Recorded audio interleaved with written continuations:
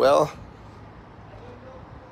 so there we have it. Uh, Stingray Corvette wrapped in satin bubblegum pink with our top of the line um, wrap series SW900 um, dedicated work through our teamwork of out here in San Diego through Sun Diego Wraps so we got this um, Corvette wrapped uh, just last few days last couple days.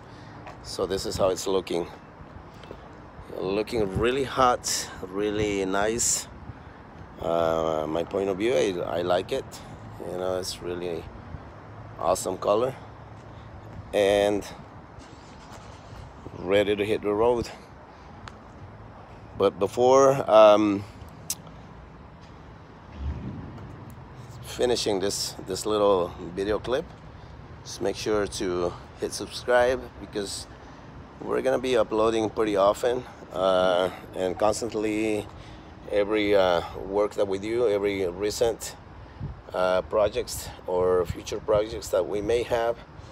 Uh, so that way you get updated as to what do we got going on out here in San Diego Wrapsy and you maybe be interested on getting your car color changed, custom wrapped, um, a paint protection film applied, uh, ceramic coating uh, for protection.